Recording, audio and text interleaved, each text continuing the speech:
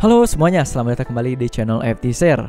Di video kali ini kita mau bahas tentang sebuah mesin yang sebenarnya udah kita bahas dulu. Tapi berhubungan mau kita convert ke channel bahasa Inggris kita, jadi sekalian aja kita bikin ulang biar fresh terus barangkali ada teman-teman yang belum nonton atau mau nonton lagi. Tapi yang paling jelas biar editor ikut belajar dulu mengenai mesin yang akan kita bahas ini. Sebuah mesin unik berkonfigurasi mesin 4-stroke dengan siklus 4 tak yang dikombinasikan dengan konfigurasi mesin berkecepatan tinggi 2 tak atau 2-stroke. Gimana? Asik apa bingung dengernya? Dan tanpa berlama-lama, yuk langsung aja kita loncat ke pembahasannya.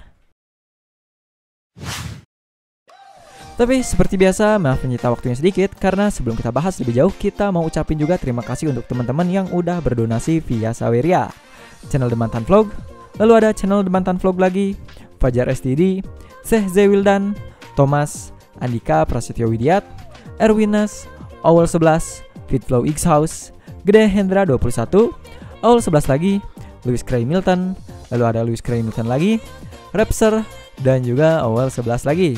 Seperti biasa, semoga rezeki kita semua yang berdonasi dan teman-teman yang nonton video ini selalu dilipat gandakan dan juga dimudahkan. Amin. Two-stroke engine, seperti yang udah kita semua tahu. Mesin ini menghasilkan daya yang sangat cepat. Alasannya bukan lain karena setiap putaran crankshaft itu akan menghasilkan daya. Tapi karena konsepnya, mesin seperti ini nggak memiliki yang namanya katup. Maka pada proses scavenging, akan ada banyak bahan bakar yang terbuang bersamaan dengan gas buangnya. Dan ini nih, yang mengakibatkan para engineer menyerah untuk mengembangkan mesin garang yang satu ini. Yap, bukan lain karena sang Euro dunia yang selalu bertugas menjaga lingkungan melarang polusi berlebihan. Nah, itu untuk dua tak. Sekarang gimana dengan mesin patak atau four stroke?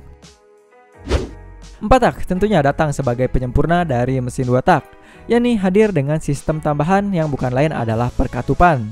Tapi karena setiap langkahnya hanya memiliki satu proses, tenaganya juga terpaksa harus terpangkas untuk menghasilkan siklus pembakaran yang lebih teratur terkoordinir, dan terarah dengan keunggulan utama jauh lebih ramah lingkungan. Setiap langkah dari mesin patak ini terdiri dari intake, kompresi, ekspansi, dan juga yang terakhir adalah buang atau exhaust. Yang mungkin gak akan kita jelasin satu persatu karena kita yakin teman-teman yang nonton video ini udah paham betul tentang siklus mesin patak, bener gak? Dan kalau ada yang belum paham, kalian juga bisa nonton video kita yang lama tentang mesin 4 tak atau 4 stroke. Linknya kita taruh di kolom deskripsi di bawah ya. Nah, dari penjelasan kita yang tadi, kita bisa ambil kesimpulan kalau mesin 2 tak atau two stroke lebih unggul kalau soal kecepatan menghasilkan daya. Sedangkan 4 tak lebih efisien dan juga ramah lingkungan. Tapi ya, sedikit lebih lemot kalau ngomongin horsepower. Nah, yang jadi pertanyaan kira-kira bisa nggak sih kedua keunggulan ini disatukan biar kekurangan keduanya bisa saling tertutupi? Nah, pertanyaan ini nih yang membuat para engineer berpikir keras dan akhirnya melahirkan konsep D-Cycle Engine Tepatnya dari perusahaan Yans Engine. Tapi ini seperti namanya ya, baru sebatas konsep aja dan belum terrealisasikan sampai dengan sekarang. yakni sebuah mesin 4 tak yang dipadukan dengan mekanisme mesin 2 tak.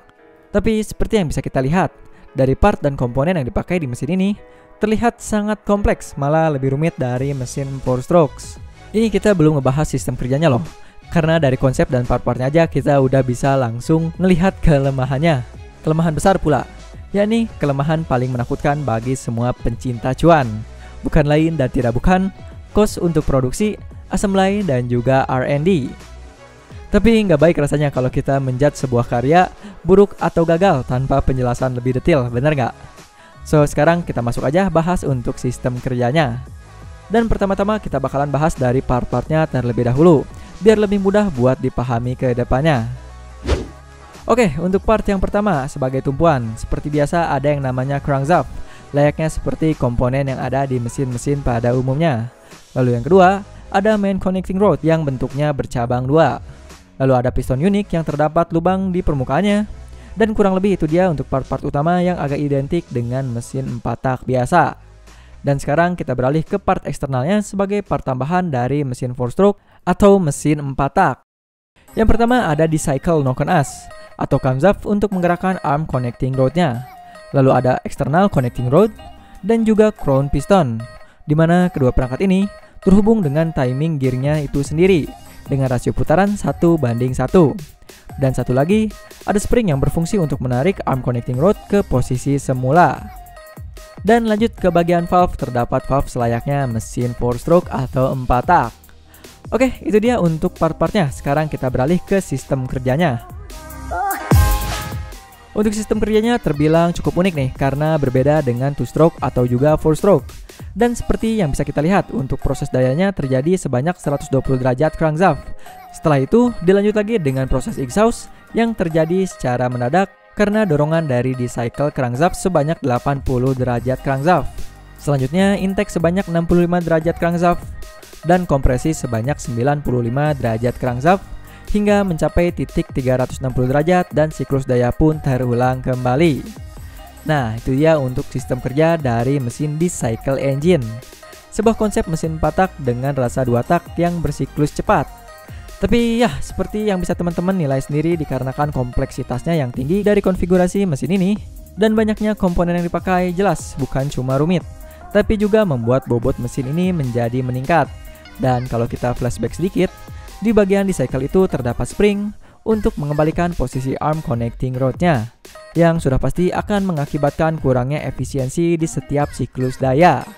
Dan yang terakhir, dikarenakan sistem ini menggunakan spring di bagian katupnya, maka mesin ini pun bisa tergolong rawan mengalami valve floating, yang tentunya ini akan berakibat fatal karena akan menimbulkan terjadinya benturan antara piston dan juga crown belum lagi dengan bertambahnya gaya gesek di setiap siklus daya yang tentunya akan membuat lebih cepat terjadinya kerusakan atau aus.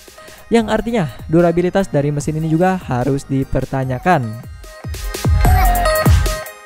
Dan kalau kita coba membayangkan dan berasumsi kalau mesin ini bisa menghasilkan torsi dan horsepower yang tinggi, ketika kita bandingkan dengan kekurangan-kekurangan tersebut, kayaknya tenaga yang dihasilkan bakalan banyak dipakai buat menggerakkan semua komponen yang ada sebelum bisa sampai ke roda kendaraan. Yang artinya bisa dibilang kalau efisiensi thermalnya bakalan rendah banget. Namun walaupun begitu bukan berarti mesin ini kita anggap jelek. Mungkin mesin ini juga bisa berfungsi di kondisi tertentu yang kita sendiri belum tahu. Namun di luar itu semua, kita layak mengapresiasi hasil kerja dari para engineers yang telah membuat konsep mesin ini. Dan mungkin ke depannya akan lebih dikembangkan lagi dan semoga mesin ini bisa menjadi mesin yang dikembangkan ke arah yang lebih baik. Oke, mungkin itu aja informasi yang bisa kita berikan di video kali ini. Seperti biasa, jangan ragu untuk melontarkan pendapat dan kritik kalian di kolom komentar di bawah. Saya Muhammad Karir undur diri dan thanks for watching.